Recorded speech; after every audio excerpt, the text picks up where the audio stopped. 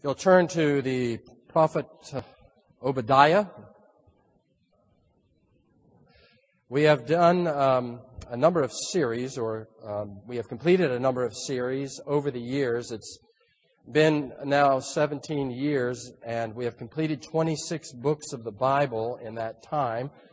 Uh, this will be the 27th book that we have launched into. I have attempted during that time to uh, preach a, a variety um, of genres. I like to think that we vary the diet of narrative, gospel, epistle, wisdom, poetry, prophecy, and so forth. It's certainly been my intention. I think that sometimes uh, we've not quite made it.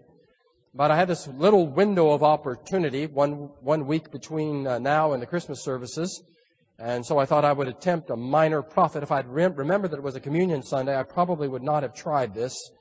Now, that's my excuse for if it goes a bit long. Uh, it is a minor prophet, Obadiah is. Minor meaning it is one of the shorter. It doesn't mean it's of minor importance. It is the most minor of the minor prophets, and I believe it is the shortest Old Testament book. It has one of the shortest titles of all of the books of the Bible. The author is unknown. Uh, the name means a servant of Jehovah. The date is unknown, though most of the experts uh, say it uh, happened sometime uh, after 587, which you will all know is the date when Babylon dis- the Babylonians destroyed Jerusalem. So that would make Obadiah a contemporary of Ezekiel and Jeremiah and Daniel. His message is a message of judgment upon Israel's neighbor Edom in verses 1 through 15, and God's judgment of all the nations of the earth in verses 15 through 18. Uh, the, that judgment coming because of their sins, especially their sins against Israel. And then in verses 19 through 21, the promise of the establishment of God's kingdom. And uh, Obadiah follows the pattern we see throughout the Bible, that those two things always go together. The judgment of the nations and the destruction of the enemies of the people of God go hand in glove with the deliverance of God's people and their establishment and comfort. It is as God judges your enemies that He establishes you and uh, provides uh, the basis for your, your security and, and comfort and joy. Uh, so God is going to settle accounts. He is going to vindicate His people. He is going to establish here the principle that what you sow, you will reap. So the judgment of Edom in verses 1 through 15 proceeds. Why is Edom to be judged? Number one, because of Edom's pride. Verse 1, the vision of Obadiah, thus says the Lord God concerning Edom. Edom were the ancestral enemies of Israel. They are the descendants of Esau. They were in that territory to the south and east of Israel in the region called Transjordania, that is the other side of the Jordan River. We have heard a report from the Lord. That might be a reference to Jeremiah 49, 7 through 16, where there is a parallel judgment on Edom. And an envoy has been sent, been sent, presumably by God, among the nations, saying, Arise, you nations, and let us go against her, that is Edom, for battle. God was rallying the nations to join in the destruction of Edom. Because, uh, why? Because of Edom's pride. And how was Edom's pride manifested? In the following ways. First of all, by relying upon her natural defenses. Verse 2 Behold, I will make you small among the nations. You are greatly despised. The arrogance of your heart has deceived you. You who live in the clefts of the rocks, in the loftiness of your dwelling place, who say in your heart, Who will bring me down to earth? What that is referring to is the southeastern region in Palestine that is rugged and mountainous and noted for its natural fortifications. The capital city of Edom was sometimes called Sela, S-E-L-A, also known as Petra. And you may be aware of that. It is a virtually Im- invulnerable fortress, natural fort- fortress area, um, impregnable uh, from outside uh, attack. And so, naturally enough, the Edomites tended to trust in that. Uh, James Montgomery Boice says, from a human perspective, it was hard to imagine a safer spot than Edom and its capital city of Petra. And because they had that natural fortification, they felt safe. They felt uh, as though they were all powerful. They felt as though they were invulnerable. They uh, were beyond attack. They, they, uh, and, and, because of that, pride crept in. They were alienated from God. They uh, were puffed up with arrogance. And what God says then in verse 4 though you build high like the eagle, though you set your nest among the stars, from there I will bring you down, declares the Lord. If thieves came to you, if robbers by night, oh, how you will be ruined. Would they not steal only until they had enough? In other words, robbers come and steal from you. They take some things, but they leave a lot behind. Uh, if gate gatherers came to you, would they not leave some gleanings? Likewise, you pick the crop, but there's also always some left behind. This judgment, however, will not be like that. Oh, how Esau will be ransacked and his hidden treasures. Never mind the things that are out in the open. Even the hidden treasures searched out. The judgment will be complete. Your ruin will be absolute. It'd be much uh, like the United States today, taking confidence in its status today as the lone superpower, thinking of itself as impregnable, invulnerable. Uh, when I was growing up, it was a bipolar world. You remember that's the way we spoke of it. There was the United States and there was the Soviet Union. And then the Berlin Wall came down in 1989. A few years after that, the Soviet Union collapsed. And that left what? That left us. We were called superpowers because prior to that we spoke of the great powers Britain, France, Germany, the United States, uh, Russia. The great powers were overtaken by the superpowers. Then one of the superpowers collapsed. Who did that leave? The United States, now sometimes called a hyperpower. We are so beyond the power of any other nation. Impregnable, invulnerable, invincible. Can we not be brought down from our heights? Of course we can. And so beware. That's the message to Edom. You are not impregnable. You are vulnerable. Beware. Don't become puffed up with pride. So they became proud, number one, because of their reliance upon their natural defenses and not relying upon God. Number two, they trusted in their alliances.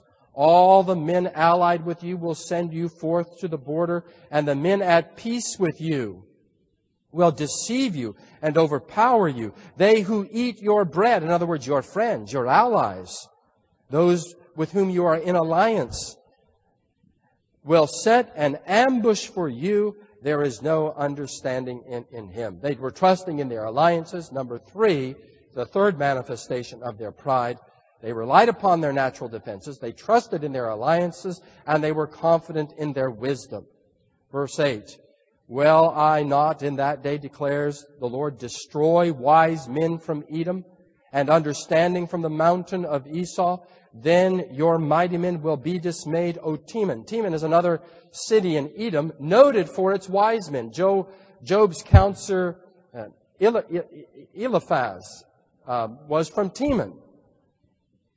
Then your mighty men will be dismayed, O Teman in order that everyone may be cut off from the mountain of Esau by slaughter. They were trusting in their wisdom and their alliances and their natural defenses. You cannot trust in the United Nations. You cannot trust in NATO and SEATO and your alliances. You cannot trust in your technology and your tactics and your generals. It's just amazing today how we watch cruise missiles go through uh, planes of glass at which they are targeted from 500 miles away. It's astonishing the technological superiority that we have in this nation. We can't even join in, in uh, the kind of joint um, military efforts with the nations of Europe because they're so technologically behind us, they're not even a help to us.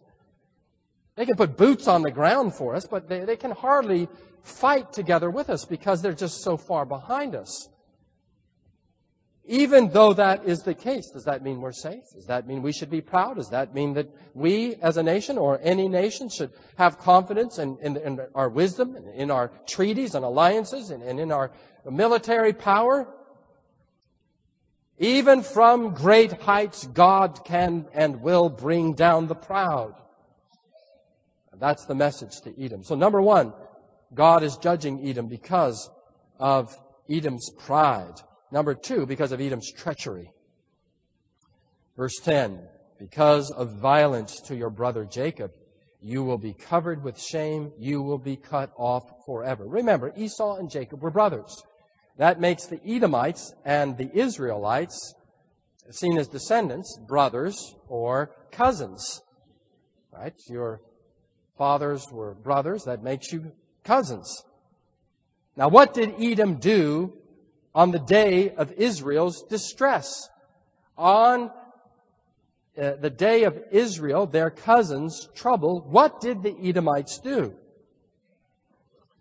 Number one, they stood aloof. Verse 11, on that day that you stood aloof, on the day that strangers carried off his wealth, invading armies, in other words, going in and looting the city. What did you do? And foreigners entered the gate and cast lots for Jerusalem. You too were as one of them. You were virtually contributing to what was going on. You just stood aloof. You offered no help. You stood with them. You watched.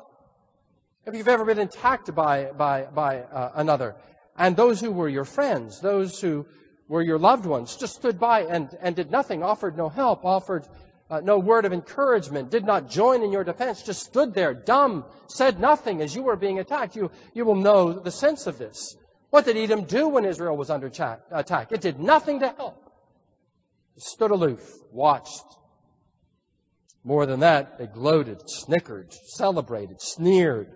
Verse 12, do not gloat over your brother's day, the day of his misfortune, and do not rejoice over the sons of Judah in the day of their destruction. Yes, do not boast in the day of their distress. Boasting what? Boasting, oh, it'll never happen to us. We're strong, we're powerful, we're safe, we're secure uh, snickering, sneering, celebrating, gloating over the destruction of your cousin, your brothers, the Israelites. Uh, third, they even joined in the attack. You kicked them while they were down. Do not enter the gate of my people. You came in just like the conquerors. The Babylonians came through the gates. Do not enter the gate of my people in the day of their disaster. Yes, you do not gloat over their calamity in the day of their disaster, and do not loot their wealth in the day of their disaster. You came in while we were prostrate on the ground, and you came in and you kicked us and robbed us. Do not stand at the fork of the road as refugees presumably were in flight, weak and distressed and, and, and, and troubled. And you cut them down. Do not stand at the fork of the road to cut down their their fugitives. Do not imprison their survivors in the day of their distress. They robbed them, they captured them, and they sold them into slavery. Those who were fleeing from attackers, those who were fugitives in a time of war. The psalmist in the 137th psalm says this, Psalm 137 7 of Edom in the time of Jerusalem's destruction. Remember, O Lord, against the sons of Edom, the day of Jerusalem, who said, Raze it, raze it to its very foundation. That's what uh, their cousins, the Edomites, did. They cheered. They were pleased. They were thrilled to watch Jerusalem be destroyed and leveled and burned to the ground. Are they going to get away with it? Are they going to get away with their pride? Are they going to get away with their treachery for standing aloof, gloating and celebrating and joining in the attack, looting the, the children of Israel, attacking their fugitives, selling uh, are people into slavery? Verse 15, no. For the day of the Lord draws near on all nations. As you have done, it will be done to you. That is the expression of God's perfect justice. You get no more and no less than what you deserve. What do you deserve? You deserve to have happened to you exactly as you have done. That's the principle of the lex talionis. That's the principle of an eye for an eye or a tooth for a tooth. It's strict justice. Don't think of that as being somehow unfair. It's perfectly fair. You knock out somebody's eye, your eye gets knocked out. You kill somebody, you forfeit your own life. What is done is perfectly equitable. It's not more than you should uh, be punished. It's not less than you should be punished. Why? Because you are receiving exactly what you dealt out. As you have done, it will be done. Your dealings will return on your own head. Why? Because of your pride and because of your treachery. You will be judged.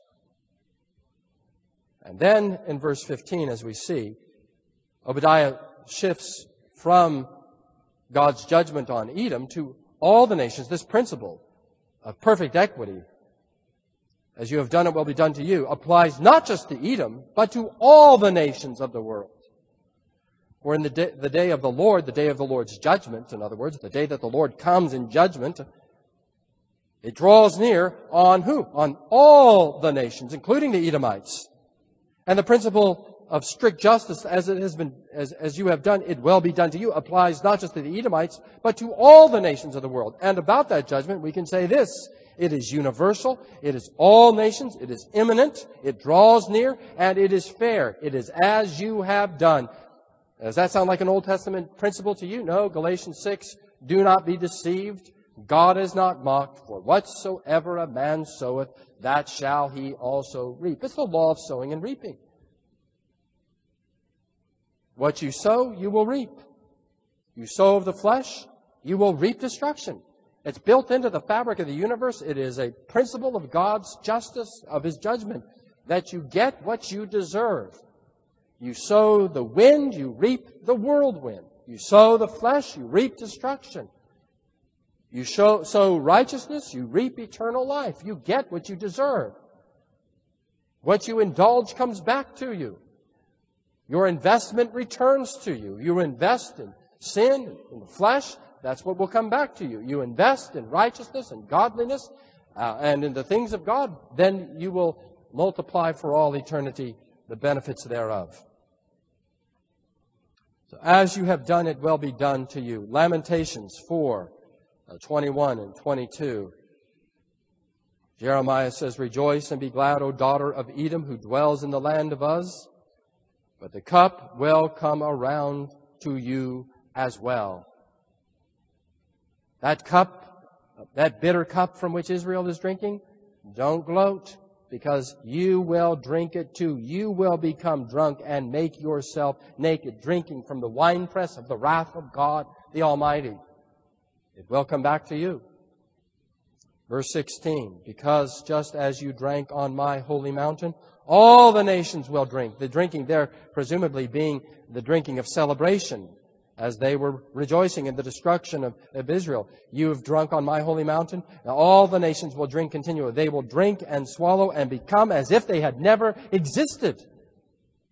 Yes, you'll have quite a party, a party where you, you are consumed by the wrath of God. Verse 17. But on Mount Zion there will be those who escape, and it will be holy, and the house of Jacob will possess their possessions. God will preserve a remnant. And like I said at the outset, these two are always together. The destruction of the enemies of Israel goes hand in glove with the redemption, the salvation of the people of God. They will possess their possessions. There will be a great reversal that will take place one day.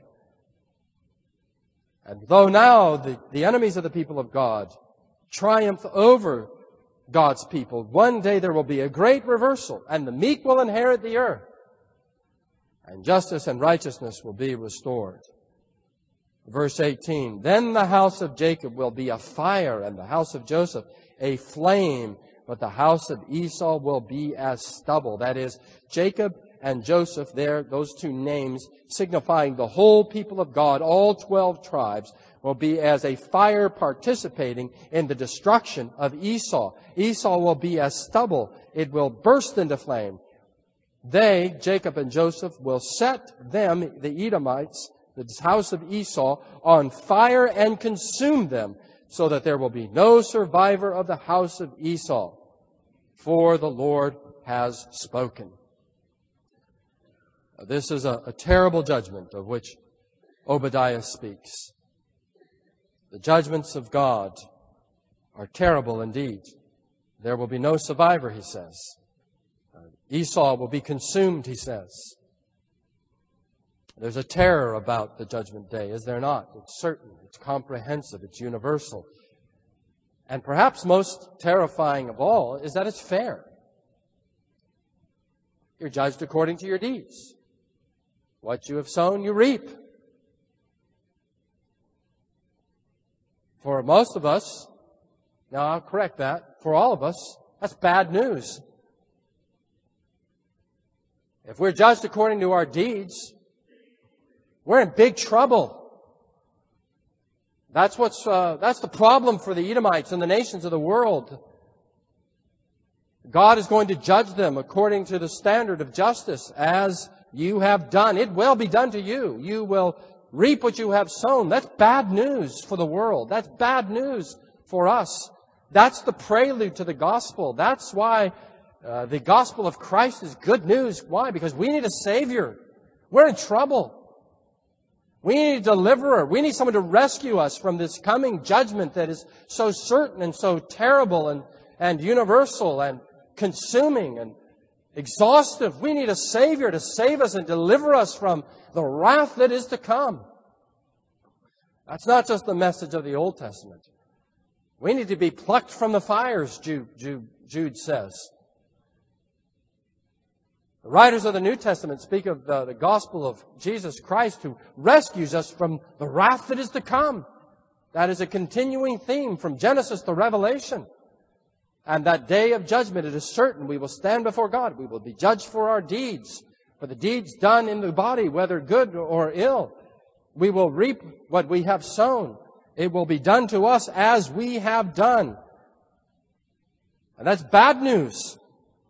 And that's why we need good news. That's why we need a gospel. That's why we look for deliverance and rescue from the day of judgment and wrath. And that's why we look uh, to God's provision in Jesus.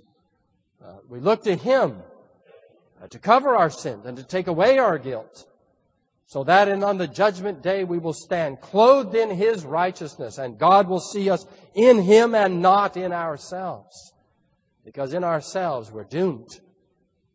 In ourselves we fall under the same sentence that falls upon Edom and upon the nations.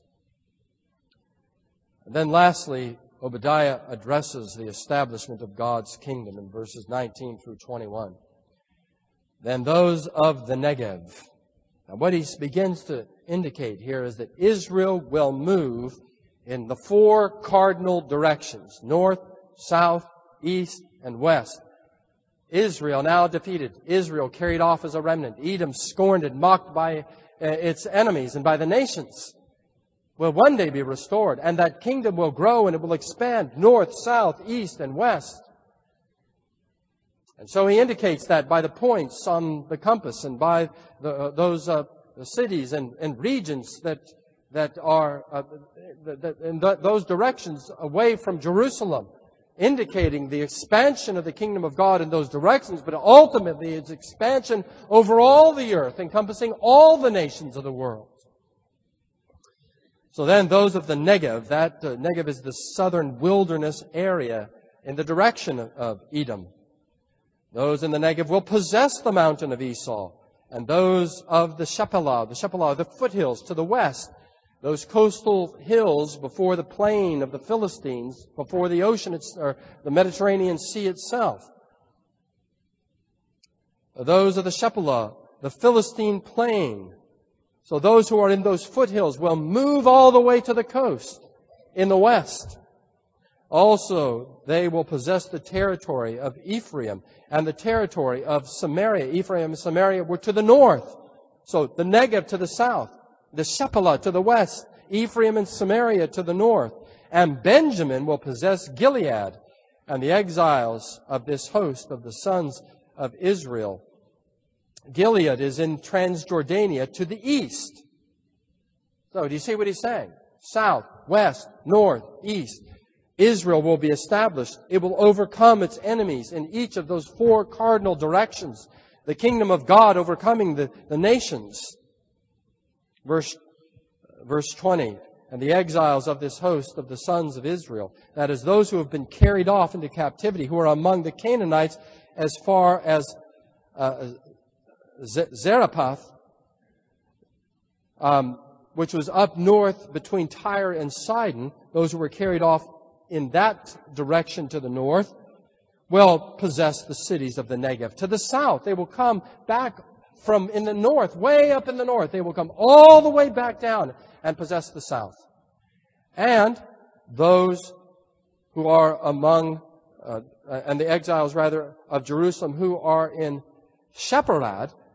Now, where exactly that is, nobody knows, except it's off somewhere in the middle of the, of the Babylonian Empire. So, way off in the north, as well as perhaps way off in the east. Even from there, they will come all the way back and possess the lands all the way in the south, in the Negev, down in the land of the Edomites. Uh, so, what's the point of, of this? Well, the, the point is that this seemingly impossible situation will become a reality. This is, this is, this is being prophesied after the remnant of Israel has been carried off to Babylon. The, the annihilation of, the, of the, the, nation has taken place. The odds against this are, are, are just in, in, incalculable. The likelihood of this, it would seem to be impossible. How could they ever come back and possess the land, and not only possess it, but expand its borders north and south and east and west? How could it happen? Yet that's what's being promised. In spite of present appearances, the kingdom will be established. Verse 21, the deliverers will ascend Mount Zion, that is Jerusalem, to judge the mountain of Esau, to judge and rule over the descendants of Esau, the Edomites, and the kingdom will be the Lord's. Now, what does this mean in, in summary and conclusion? It means that the suffering of the people of God, even under the hand of God's judgment, is temporary. It will not last. The apostle Paul in 2 Corinthians chapter 4, verse 17, speaks of the suffering of the people of God as a temporary phenomenon. It's temporary, light affliction, he says there. You might say, well, he, he doesn't know how much I suffer. Well, there's plenty of suffering going on in the early church, Church of the Apostles. But for him, that's just light, temporary, light affliction. Uh, Romans 8:18, the suffering of this present time is not worthy to be compared with the glory that is to be revealed. Our suffering's temporary. Even if it's suffering under the, the disciplining hand of our Father in heaven, it's temporary. Even if it manifests itself in the triumph of the enemies of the people of God, even if it means the scorn and ridicule and mocking of, of God's people, it's temporary. God's kingdom will be established we have a better and abiding possession, it says in Hebrews 10 34. And not only is our suffering temporary, but our deliverance and our establishment is certain and soon. The Apostle Paul calls this our blessed hope. Christ will return in victory and triumph and establish his eternal kingdom. Comfort one another with these words, 1 Thessalonians 4:18. We are sowing the spirit, we will reap eternal life. The meek ones of God will indeed inherit the earth. Does that not transform uh, current uh, circumstances? Does that not change the way that you read the newspapers? Does that not make a difference as you consider your own um, troubles and trials and tribulations? To know that it's temporary, to know that it has a purpose, to, to know that deliverance shall come, that we shall be established, that the kingdoms of this world, as we remembered this morning, shall become the kingdoms of our Lord and of His Christ. And when we come to the Lord's table, it, it is anticipation of that day when we join in the marriage supper of the Lamb. We are invited to come and to dine with Him in the kingdom of God, in eternity, in heaven, to dine with Him and enjoy fellowship with Him forever uh, and ever and ever. The King of Kings and the Lord of Lords, whose kingdom is an abiding and an eternal kingdom that shall never end where justice and righteousness will be established forever and forever. And we will be safe, saved, uh, provisioned, and loved as we pray together. Our Father in heaven, we give thanks, O Lord, that you raised up your servant Obadiah. And we give thanks, O Lord, that you are a God who knows, who knows all things, who is aware, and who promises that no one gets away with anything, that we will reap what we have sown. You will judge our enemies, and you will deliver us and establish us. And we will enjoy your presence and the fullness of joy therein forever and ever and ever. And oh Lord, as we turn to your table, may our hearts be as one. Meet with us, O Lord, we pray, as we break bread together in the observance of this sacrament. In Jesus' name, amen.